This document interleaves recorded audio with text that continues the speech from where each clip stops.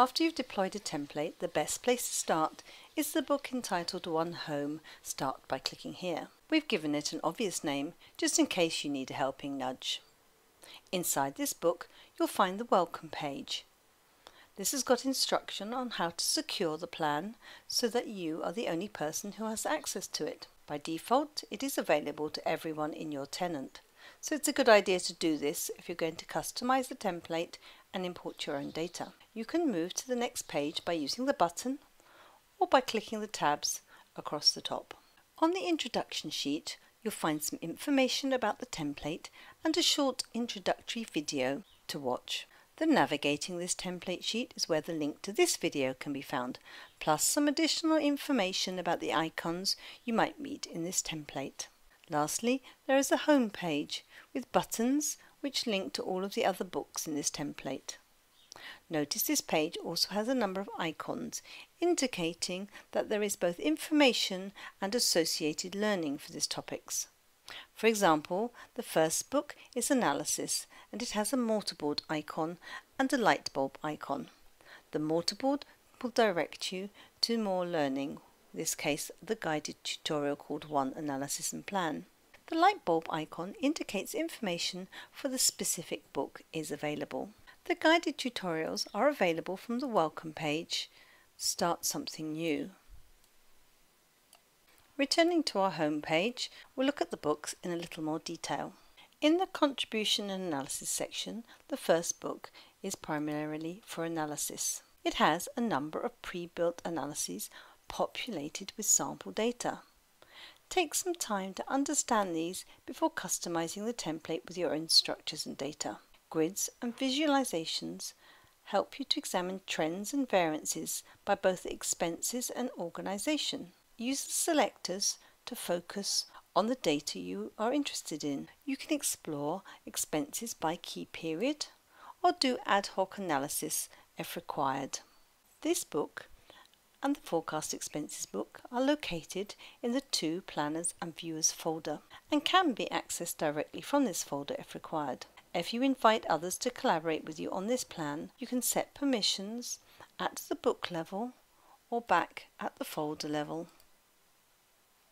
All books inside a folder can inherit the permissions of the folder, which sometimes can save effort if you have several books that you want to have the same permissions. The second book in the contribution analysis section is the forecast expenses book. In the Enter Forecast page, you can select the organisation and expense that you want to forecast. The information for calculating the expense forecast for this combination is preset as part of the setup exercise, but there is an opportunity to override this here if required. We can see for the HR travel combination the calculation method is preset to full year phased, with last year as a type of phasing. And we can enter the full year forecast here. The measures that are being shown in the input grid are appropriate to the calculation method chosen. So if we switch from travel, say to salary, we'll see that a different calculation method is used and then the appropriate measures are shown on the grid. It is possible to override that calculation method by clicking in here and selecting yes. Then you can reselect the calculation method. So if we wanted to go to volume times rate, for example, it would allow us to input a driver and a rate for that particular override. The second page in this book allows you to review the forecast expenses in an expense summary grid you can explore by organisation, expense line and time. And there's a line chart to show you the expense trend across the different versions. Back on the home page, we'll now examine the administration section. These books are in the three admins and model admins folder.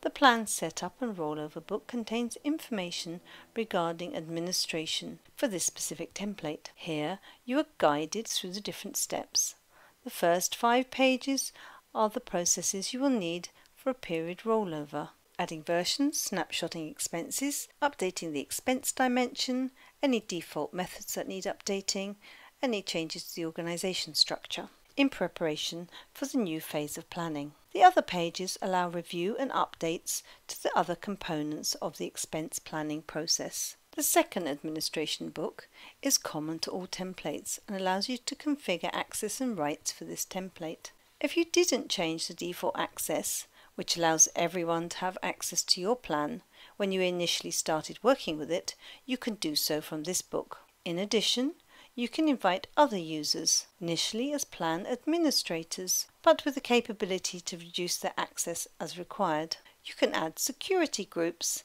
if you require additional access configurations. Access is controlled by group inside the plan and there are three security groups set up for your convenience modeler, contributor and reviewer. Cube access for each group has been preset but can be changed if you need to. For a user to have access to a cube, they must have at least read access to the dimensions that make up that cube. Next to the books under the Model Understanding and One-Off Config section. These allow you quick access to the structures that make up the plan. In the Dimensions book, the introductory page has a full list of the dimensions and hierarchies that exist in the model. This will update if more dimensions or hierarchies are added. The other pages in the book display the main dimensions in the model, those which are most likely to change, each having their own page.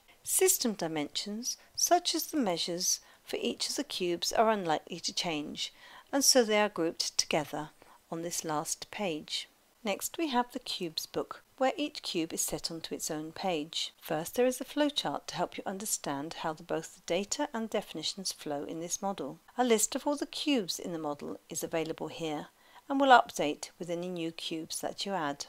You'll see that if there are business rules associated with the cube, that the rules editor has been placed underneath the cube itself and you can review those. Sometimes it helps to enable line wrapping there to see the rules more easily. In addition, be aware that there are occasions where you will need to scroll down through the rules editor to see all of the available rules.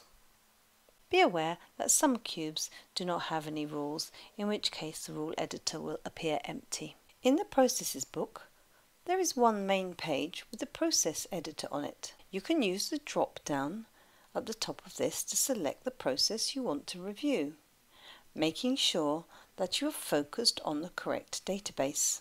You'll be interested in reviewing the script, including any comments that have been added to describe the details of the process. Some processes, such as updates to cubes, we'll look at the update actual expenses, uses a file as a data source. So in summary, you can start from the home page.